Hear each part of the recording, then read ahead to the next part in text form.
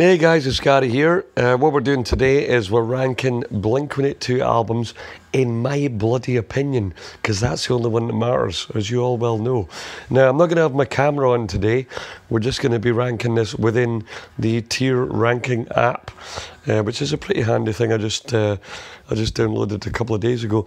I've seen a lot of guys on YouTube using these, um, and I just fancied doing one myself. So, as you can see, we've got. Um, I mean, a lot of the guys will just use the uh, preset tier uh, names, which is usually just A, B, C, D, E, F, blah, blah, blah. But I've, uh, uh as you can see, I've changed mine to from bottom to top, don't bother, super fans only, experimental, give them a spin, required listening, and God tier. Now, any Blink fans out there are probably going to know which ones are going in at least the top two, but these are just my opinions, and well, you're welcome to have an argument with me in the comments on this video.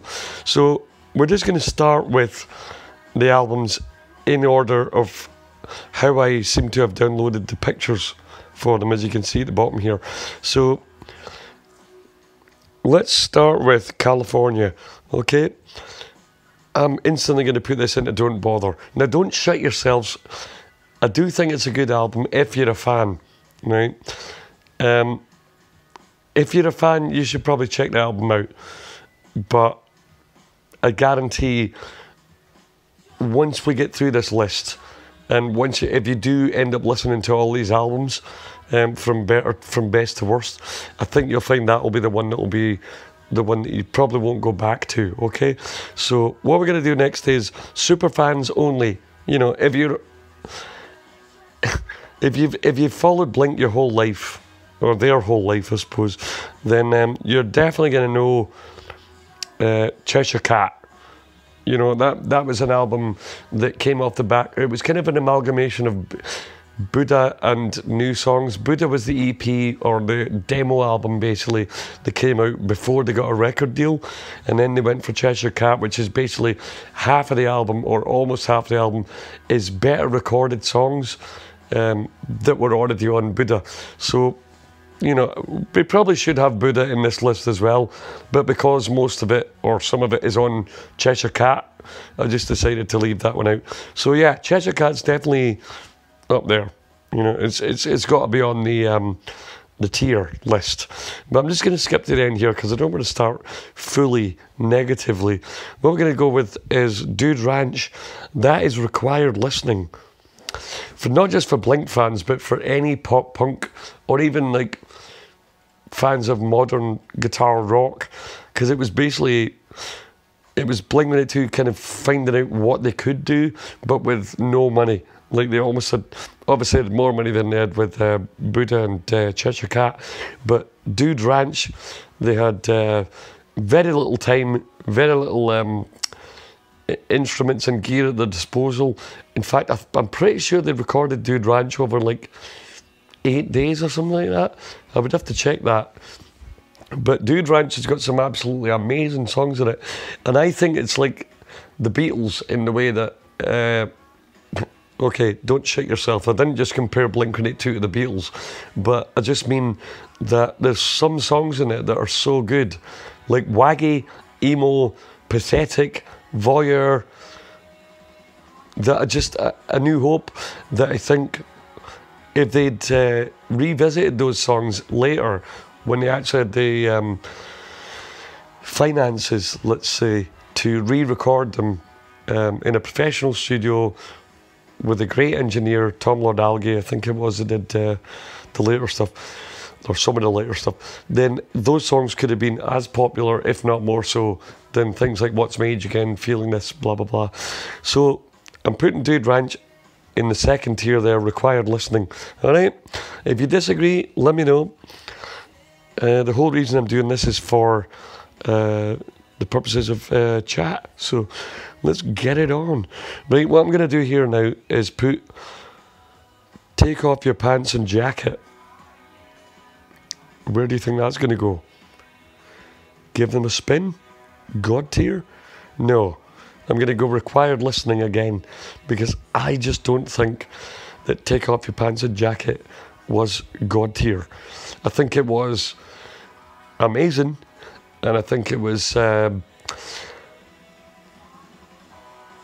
it could have been better, but it to me, it, having known them since Dude Ranch and um, Enema of the State, it just felt like a B-sides album to Enema of the State. I just felt like they were putting some songs in there that were maybe trying to change direction a little bit too quickly. And anybody who knows Boxcar Racer will know what I'm talking about there. There's things like Stay Together for the Kids, Story of a Lonely Guy, um, Adam's Song. Sorry, Adam's Song was on. Um, Adam's Song was on uh, of the State. But you know, there's a couple of slower songs on Take Off Your Pants and Jacket that I'm just like, really, maybe should have kept it upbeat for the whole album. They're still great songs, but I just felt like they could have ro- rode that wave uh, for a little bit longer. So, what we're going to move on to next is the Mark Tom and Travis show, which is always a point of contention for some uh, Blink fans because people think this should be God tier because it basically is the greatest hits. But I'm going to put it on Give It a Spin or Give Them a Spin because there's two albums on this um, level. Because they're not studio recorded tracks, they're all pre recorded. There's no new material on this album, do you know what I mean? Um, it's all live versions of songs from um, Dude Ranch, Enema of the State. And obviously the banter, the jokes in this album just defined Blink. That's why they did it. You know, they only did this album because of the jokes, you know. And I mean, they weren't to, they definitely didn't do it to show off how good they are as a live band because I think anybody who knows them, who's ever seen them live, like, I mean, really live, not just on like the MTV Awards and shit like that. I'm talking about really live. You know that Tom doesn't sing like that, and you know that they don't play like that. They don't play that tightly. Like this, it's one of many live albums over history that has been heavily edited in post to the point where I actually think that the only live thing there might be the drums and well, I think it's definitely the drums, but might also be a bit of the bass. Well, most of the bass. Mark's a pretty solid bass player, to be fair, but the guitar playing and the vocals are just questionable when you actually see them live. But on this, they just seemed a bit tight. So I'm just like, well, if it is a live album, or if they want to market it as a live album, you've got to take into consideration that there's been a lot of post editing going on. Right, let's move on. I'm going to put in neighbourhoods next. Um, into the experimental category. And I'm not saying this is a bad or weird. It's definitely not a weird album, but it's weird in terms of Blink, if you know what I mean. Um, it was definitely Tom kind of trying to work out how to bridge the gap between what Blink was already established at doing and what he actually wanted to do, which, as we all know, turned out to be Angels and Airwaves. But it didn't really work for all of us as a Blink album. You know, what I mean, it was just, I mean, it did. It was it was enjoyable to listen to, but it didn't have the fun factor of the first, well, two, well, three albums. Um, I'm talking about studio albums now, you know. Didn't have the fun factor of Dude Ranch, Enema of the State, and Take Off Your Pants and Jacket. Um, and obviously uh, Cheshire Cat before that. So I guess four albums. So that's why I'm putting neighbourhoods in the experimental phase. Seemed to be a very transitional point in, in Tom's life. I'm not entirely sure that Mark was on board with what was going on at the point, but he did contribute a lot lyrically and songwriting and uh, songwriting and uh, as a songwriter to the album. So I think emotionally they both got a lot out of it, but I just think musically it was too much of a deviation to really put it up there as a classic Blink album. Do you know what I mean? I mean, what I would say about Neighbourhoods is that Travis Barker just shines on it. He just that's one of my favourite albums to listen to when I want to listen to Travis. His his playing might have saved that record. Um, high points of the album, Ghosts on the Dance Floor, uh, Helicopter, and uh, oh, I'm just going to leave it at those two just now. Now, now, some people are not going to like this, but nine, I'm going to put there with super fans only, because just didn't buzz me. It was almost. I know Neighborhoods was the last proper Blink album before Tom left. Well, it was the last album before Tom left, but this one was like. I just felt they were trying to claw back something that they could never get without Tom. Like Tom's either in the mood to party or he's not. You can't force that. But then they got Matt in to try and like I know he does the same thing as Tom. He sings and he plays guitar. But he's not even an amazing singer. And yet he's an even worse guitar player. I'm not having to go at Matt Skiba because he's phenomenal in the in terms of uh, Alkaline Trio. But with this album, I just feel like, nah, no way.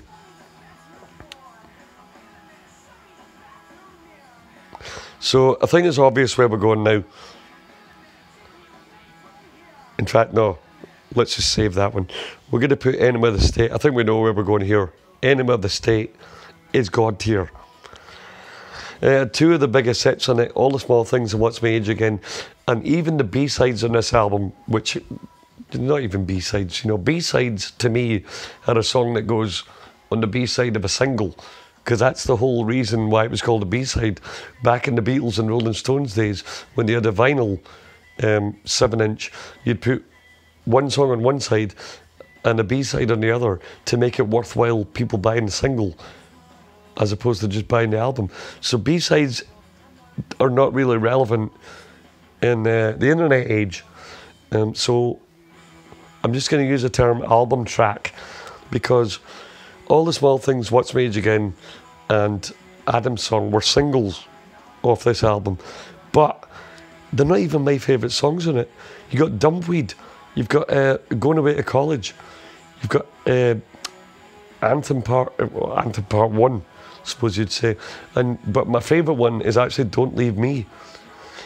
And weirdly, as much as I miss Tom in Blink, when I look back, some of my, most of my favourite songs from the early days were actually Mark singing them, which is weird. Because I miss Tom in the live environment and the whole attitude of the band, but I miss Mark's, you know, well, he was writing the songs anyway, so I don't know what happened when Tom left, but Mark just didn't have his own, didn't have a spark that he had with going away to college and Don't Leave Me. Obviously, we had Aliens Exist on that album as well, which was was Tom. Um, but you got what? What else we got? We got Mutt, um, Dysentery Gary, which is fucking hilarious, especially since that's my name. I love that song. Right, let's move on. The last one we've got is the self-titled album. Now, where am I going to put that? Obviously not. It wasn't that experimental. It certainly wasn't God tier. I was tempted to put it in required listening, but I'm gonna go. I'm gonna go with give him a spin, because I just don't think it was a, it was up there as much as Enema, Dude Ranch, and Take Off Your Pants and Jacket were. Um, yeah, but it still had some great. The, the thing about the, the self titled album is it's an experience within itself. Like, you need to listen to the album from front to back because it's like a musical movie, which most of my favourite albums are, like The Colour and Shape, Morning Glory, uh, Nevermind, Soundgarden's uh, Down in the Upside, Rage Against the Machine's first album. It's structured in a way and I'm back to talking about Blink's self-titled album here. It's structured in a way that it, it, it wants you to listen to the whole thing because it has a beginning, a middle, and an end. And although it has one of my least favourite Blink songs on it, I Miss You, because, I mean, the reason it's not my favourite Blink album is because, uh, Blink song, is because it's not Blink. It doesn't sound like Blink 182 at all. It's a very accessible song for people who Remember in the office, the American office, where uh, Robert California was complaining about uh, the Black Eyed Peas, and he said, the rock music for people who don't like rock music, the pop music for people who don't like pop music, and the hip hop for people who don't like hip hop. That's the way I look at I Miss You. You know, people who listen to my I Miss You who aren't fans of pop punk, they might think that that's what pop punk sounds like. And therefore, you know, it's like the only exception by Paramore. You know, that's like a first dance kind of song, as I Miss You probably could be as well. Um, but it's not definitive of the band's style. So that's why I don't um, favour the self titled album. There's a lot of stuff on there that you wouldn't play to somebody if it was like their first experience of Blink. Maybe things like Feeling This, because it's got the two lead vocals on it. Obviously, uh, you had the other single, uh, Always, which is a great song. In, in a way, it's kind of the definitive modern Blink song. It's like it's almost like that album's "Damn It" because it uses the same chord sequence and the same um, construction of the song, but it's just a little bit less ballsy. Do you know what I mean? It's a little bit overproduced for me. I do love Mark's chord playing on the bass on Always, but I just would never go to it, you know, as a main Blink song. What we really should add here is edging as well, but we'll wait until the next album comes out if they're gonna if there is if there is even gonna be be a new album. So that that concludes the video today. Thanks for listening, guys, and I will catch you soon.